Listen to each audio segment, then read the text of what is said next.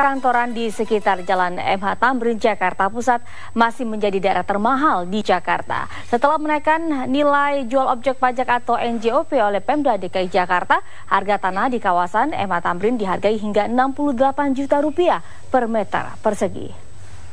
Baiknya kualitas beragam produk furniture tanah air membuat pameran furnitur kerap digelar dan hari ini di Arena Pekan Raya Jakarta Kemayoran Jakarta Pusat juga masih berlangsung pameran furniture berskala internasional. Kita akan bergabung dengan reporter TV One Syafaatu, produsen pesawat terbang nasional PT Dirgantara Indonesia, mengantongi 100 pesanan pesawat N219 untuk melayani transportasi udara di dalam negeri.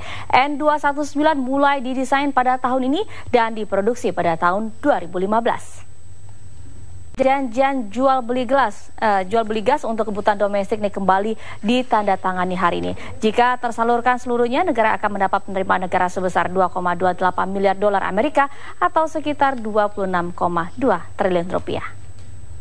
Perdamaian dari tahun 1936 akan dilelang dengan nilai diperkirakan mencapai 100 ribu dolar